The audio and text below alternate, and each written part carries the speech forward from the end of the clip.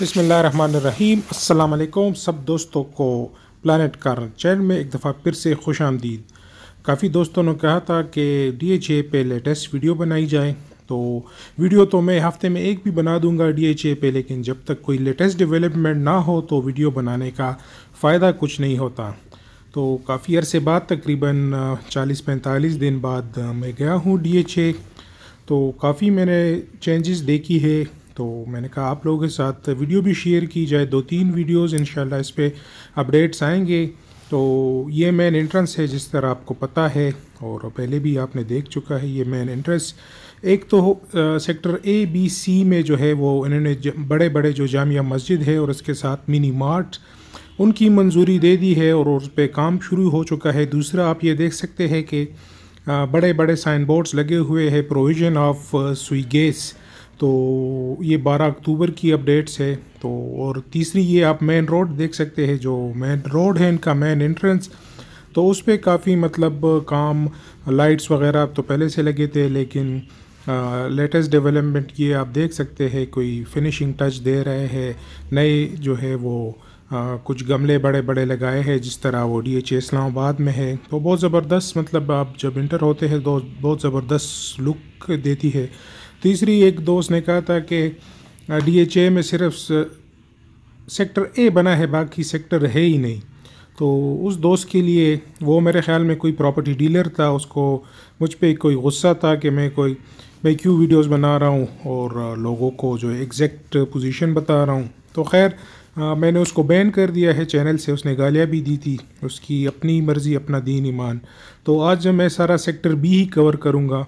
जिस तरह आप डी में एंटर होते हैं तो लेफ़्ट साइड पे जो है वो सेक्टर बी है राइट साइड पे सेक्टर ए है, उसके बाद फिर सेक्टर सी और सेक्टर सी एक्सटेंशन और डी ई वो तो फिर पीछे बैक साइड पे आते हैं। तो ये मेन जामिया मस्जिद है, उन्होंने जगह जगह पे जो है उसके लिए साइन बोर्ड्स बनाए हैं, उस पर काफ़ी तेज़ ये तेज़ काम शुरू सेक्टर बी का मेन जामिया मस्जिद है, उसके साथ मिनी मार्ट भी होगा और साथ पार्किंग के लिए भी जगह होगी। डिफरेंट स्ट्रीट बोर्ड्स भी आप देख सकते हैं सेक्टर बी के तो और सेक्टर बी के कुछ ये बड़े रोड है, कुछ साइड रोड्स है। तो काफ़ी मतलब रोड्स का आपको अंदाज़ा हो रहा होगा कि कितने बड़े रोड इस पे है। तो ये जो मैं बात कर रहा था कि जामिया मस्जिद है मेन और नक्शा भी आपने डिटेल में देखा भी तो उस पर काफ़ी तेज़ काम शुरू हो चुका है। और बारिश हुई थी तो पीछे आप व्यू भी देख सकते हैं, पहाड़ जो वर्सक डैम है। वर्सक डैम यहाँ से काफ़ी करीब ही है।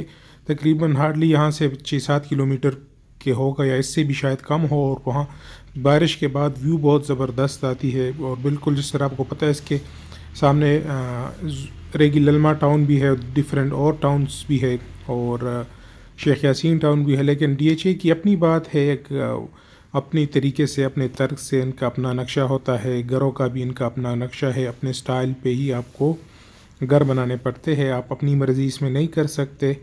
उन्हीं के मतलब उस पर आपने घर बनाना होता है।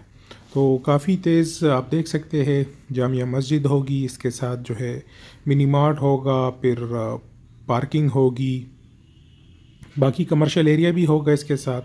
तो काफ़ी जगह उन्होंने इसके लिए चौड़ी है, उसके साथ जो वाटर टैंकी भी बनी हुई है। वाटर टैंकी तो इनके तकरीबन ए बी सी सारे सेक्टर में जो है वो बन चुकी है और फर्दर जो है एक्सटेंशन जो है, उस पर भी जो है वो कच्चे रोड बन गए हैं, जो फर्दर इनकी एक्सटेंशन हो रही है सेक्टर सी एक्सटेंशन और डी ई तो वहाँ पर भी कोई मतलब हलचल नज़र आई तो वो भी इंशाल्लाह मैं अपडेट दूँगा।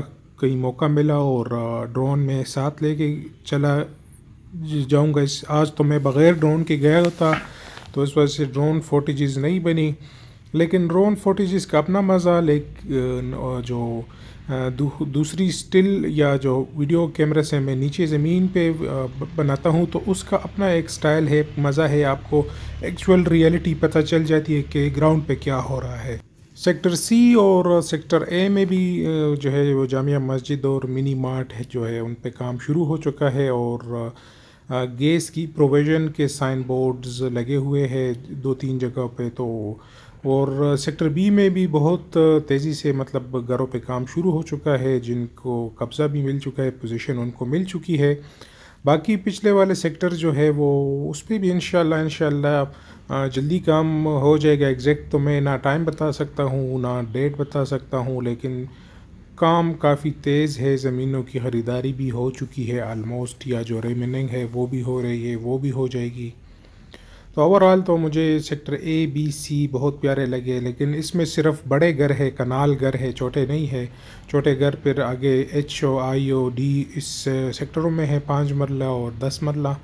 तो वो भी हो जाएँगे मेजॉरिटी लोगों के वो प्लाट्स है तो डी एच ए को उस पर भी तवज्जो देने चाहिए कि ठीक है, आपके मतलब ए बी सी बड़े लोगों के लिए है या बड़े प्लाट है लेकिन बाकी सेक्टर्स जो है, जिसमें छोटे प्लाट है तो उस पर भी काम तेज़ किए जाए ताकि वो लोग भी यहाँ पर घर बना सके।